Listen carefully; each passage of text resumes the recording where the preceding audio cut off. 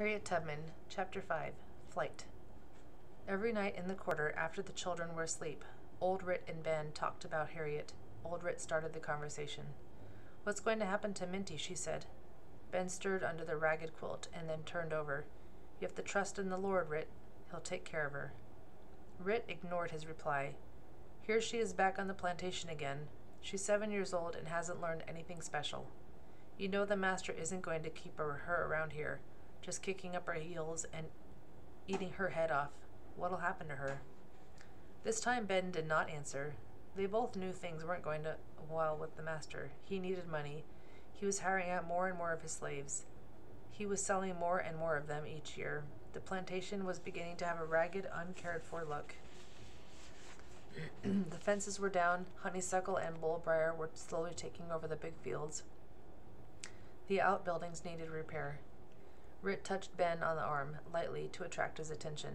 Then she whispered, The trader's back in Cambridge again. He got the big front room at the tavern. Less than two months and he's back again. He didn't used to come so often. She waited for Ben to say something, to reassure her. He knew just as she did that when the trader got ready to leave, some of the master's prime hands were sure to go with him. Well, not exactly with him. They go with the chain gang, walking down that long, terrible road that ended in New Orleans or Natchez, chained two by two, and other chained down toward the middle of the group. And each slave chained to that too. She'd heard the white folks call it a coffle or a drove, but told her but to her it was always simply the chain gang. Nothing's going to happen to Minty, old Ben said, sharply. I'll see that it don't. The sharpness in his voice told her that he was thinking about the chain gang too, and remembering their two little ones, just about the size of Minty, who had gone away like that. One minute they had been carrying water to the field hands, and the next minute they were in a lot with other slaves that had been sold, sort of thrown in for good measure, and then gone. Gone with the chain gang. But there's nothing Ben can do, she thought. He can try, of course, but the trader had a reputation for driving a hard bargain, and if the master needed the money, and one extra child meant a slightly better price for the lot, why, even Ben wouldn't be able to stop the sale. Rit gave a long sigh. I wish the old days were back again, the days when the master was rich and just raised tobacco, just nothing but tobacco. And everybody worked. Even the little slaves helped squash those fat, juicy hornworms that get on the backside of the tobacco leaves. And everybody had plenty to eat, and we all felt safe. In the old days, the master never sold off any of his slaves. Everybody knew that, and Ben agreed with her. Yes, he said slowly. Things was better then. It seems like they see seesaw more now. He grows a lot. He grows a little cotton, and he grows a little wheat, and he grows a little corn. Then maybe there's too much rain, or maybe not enough rain, so the crop's no good. Now he's selling the big timber off to the shipbuilders. Pretty soon there won't be any more of them big stands, stands of oak. We keep hacking them down. Day after day, we're hacking them down. What's he going to do when his timber's gone? You know what he's going to do, Rit said impatiently. He's going to keep on raising slaves and selling them off. He gets enough money just from that. He don't have to bother to have his land worked anymore. He just he's just living off his slaves. Living off his slaves, she thought. And little Minty doesn't know how to cook or sew, and the slave trader is in Cambridge, and maybe tomorrow he'll be riding out here. Oh, Ben, she said, what's going to happen to Minty? I guess maybe we just better pray to the good Lord to look out for her, he said. We just better pray. A few days later, Harriet was hired out again as a child's nurse. Rit said, May the Lord be praised. It's an answer to my prayer, to my prayer. May the Lord be praised. Once again, Harriet, the small girl in the tow linen shirt, barefooted, feet not touching the floor of the wagon, sat listening to the clop clop of the horse's hoofs, listening to the creak of a wagon that was carrying her farther and farther away from home. Her forehead was wrinkled by a frown because she kept thinking, Where am I going this time? How long will it take to get there? Why do I have to go anywhere? Suppose she didn't like the people. What could she do about it? She wouldn't know how to get back home. Finally, the wagon stopped in front of a big house. She never did know where it was located, near what town, how far away from the Brodess plantation. But she soon knew what she was supposed to do. She looked after Miss Susan's baby and helped with the housework, too.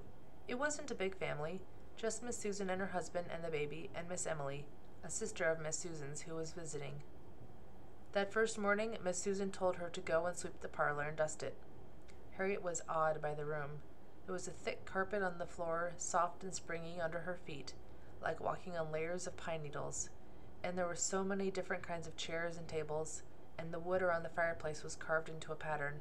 She'd never seen anything like it. She swept as hard as she could, and then immediately dusted all the dark shiny wood of the furniture. Miss Susan said, Have you finished? and came in to run her fingers over the shiny surface of the chairs and tables. Her fingers were coated, coated with dust. Do it again, she snapped. Are you just plain stupid? Why, you haven't dusted in here at all. You do it right, or. Harriet swept again and then dusted, getting more and more frightened. Miss Susan said it wasn't done properly and went and got a whip and kept whipping her and shouting at her, and Harriet screamed. Miss Emily had heard the screams. Oh, she heard a voice calling, Susan, Susan, what are you doing? What is the matter? Miss Emily had heard the screams and came downstairs protesting. Why do you whip the child, Susan, for not doing what she has never been taught to do? Leave her to me a few minutes, and you will see that she will soon, soon learn how to sweep and dust a room. Harriet learned how to clean the house. She looked after the baby, too. In later life, she said, I was so little that I had to sit on the floor and have the baby put in my lap. That baby was always in my lap, except when it was asleep or its mother was feeding it. Miss Susan, Susan said that the baby mustn't be allowed to cry. Harriet had to keep rocking it so it wouldn't cry. Every night the same thing happened. She sat on the floor and rocked the cradle back and forth, back and forth, until the baby went to sleep. Then her head drooped, her eyelids closed, her hands started slipping, slipping, slipping away from the dark polished wood of the cradle. Finally, she slept on the floor by the cradle.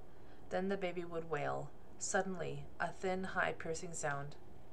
Miss Susan would wake up, furious, and reach for the whip she kept on a little shelf behind her bed. Harriet finally reached a point in exhaustion where she was past needing sleep, where she was she snatched it in brief moments, head nodding, cl- eyes closed, and yet not really sleeping prepared to start rocking the cradle before the baby woke up and cried. Even so, sometimes she went sound asleep to be awakened by the wailing of the baby. She was whipped so often that the back of her neck was covered with scars, crisscrossed with scars, so deep that they would be visible for the rest of her life.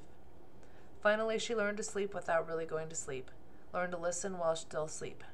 Head nodding, eyes closed, but all her senses alerted to the slightest movement from the cradle listening, listening, and yet asleep, so that if the baby stirred, she started rocking the cradle. She thought of running away, and didn't. She did not know how to reach the Brodess plantation. She did not know in which direction to walk, assuming that she could have got away from the house. She had no idea how far it was. It had seemed an interminable journey when the overseer brought her to Miss Susan's in a wagon. Sometimes Miss Susan and her husband went out to parties.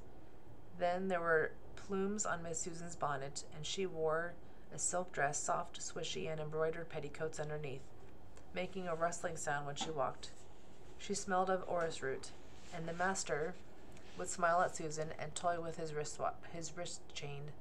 On those nights, the baby cried and cried while Harriet slept. Harriet slept, and yet she was listening, sound asleep, but listening, not for the baby, ears straining, even in sleep, for the sound of footsteps on the stairs. Not even footsteps, just the creak of the stairs, and she was awake, because it meant Miss Susan was coming home. Thus she learned to stay alert even though she was deeply, restfully asleep. During the day, she toyed with the idea of running away. Then she would thrust the thought from her as impossible. Yet she did run away. Years afterward, she described what happened in these words. One morning, after Miss after Susan after breakfast, Miss Susan had the baby, and I stood by the table waiting until I was to take it. Near me was a bowl of lumps of white sugar. My mistress got into a great quarrel with her husband. She had an awful temper, and she would scold and storm and call him all kinds of names. Now you know I never had any good, anything good, no sweet, no sugar, and that sugar right by me did look so nice. And my mistress's back was turned to me while she was fighting with her husband. So I just put my fingers in the sugar bowl to take one lump, and maybe she heard me, for she turned and saw me. The next minute she had the rawhide down, I give one jump out of the door, and I saw that they came after me, but I just flew, and they didn't catch me. I ran and I ran, and I passed many a house, but I didn't dare to stop, for all that they all knew my mistress, and they would send me back. She ran until she was exhausted. She kept looking over her shoulder. After a while, she didn't see Miss Susan and her husband. She decided that they must have got tired and stopped chasing her. She slowed her pace then at the thought of having to go back to Miss Susan, and whatever form of punishment she and her husband would have devised. She started running again. She said by and by, when I was almost tuckered out, I came to a great big pig pen. There was an old sow there, and perhaps eight or ten little pigs. I was too little to climb into it, but I stumbled over the high part and fell in on the ground, and I was so beaten out that I could not stir and there I stayed from Friday until the next Tuesday, fighting with those little pigs for potato peelings and other scraps that came down into the trough. The old sow would push me away when I tried to get her children's food, and I was awfully afraid of her. By Tuesday I was so starved that I knew I had to go back to my mistress. I didn't have anywhere else to go, even though I knew I knew it was coming, so I went back. That same year, 1827, Henry Clay, who was still Secretary of State, appealed the Canadian government again. He asked for some kind of agreement in return in regard to the return of hundreds of fugitive slaves living in Canada. After five months had gone by, the Canadians said, It is utterly impossible to agree to a stipulation for the surrender of fugitive slaves. In the city of New York, two Negroes, John Russwurm and the Reverend Mr. Samuel Cornish began to publish Freedom's Journal, the first Negro newspaper in the United States. And that is the end of chapter 5.